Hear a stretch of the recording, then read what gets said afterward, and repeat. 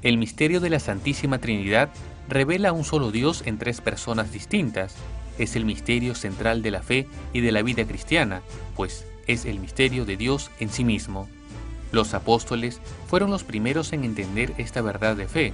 Después de la resurrección, comprendieron que Jesús era el Salvador enviado por el Padre y cuando experimentaron la acción del Espíritu Santo dentro de sus corazones en Pentecostés, comprendieron que el único Dios era Padre, Hijo y Espíritu Santo.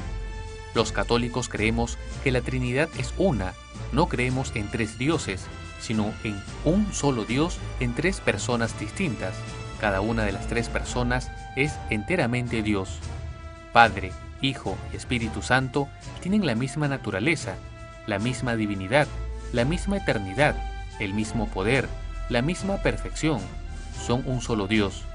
Cada una de las personas de la Santísima Trinidad está totalmente contenida en las otras dos, pues hay una comunión perfecta entre ellas. La Trinidad pone su morada en nosotros el día del bautismo, cuando el sacerdote dice, yo te bautizo en el nombre del Padre, y del Hijo, y del Espíritu Santo.